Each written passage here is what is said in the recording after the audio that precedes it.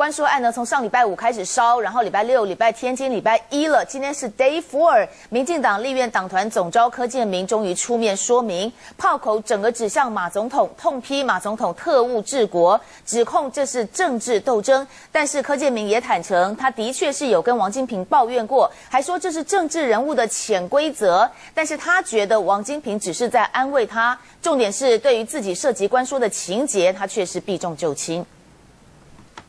媒体大阵仗守候，党内同志排排坐。生议三天，民进党立约党团总召柯建明终于现身，神情泰然自若，一开口就是澄清：我没有龟缩。我要告诉各位，不是神隐，这不是我政治风格，我绝对是正面迎战，永不妥协的。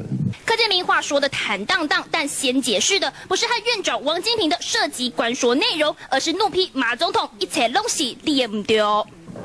总统必须遵守宪法。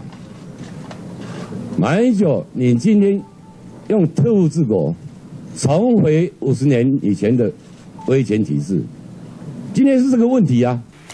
曾永福下台，王金平勒令回国，蓝营大咖一个一个被拖下水，反倒是引起整件风暴的柯建明避重就轻，连民进党也将此事件定调为马英九铲除异己的操作，就是不谈自家国会党边有无涉及不法，东拉西扯炮打马政府，但自己头上那块有无关说的黑布却仍然迟迟没有掀开。专选国上还原 S N G 小组台北采访报道。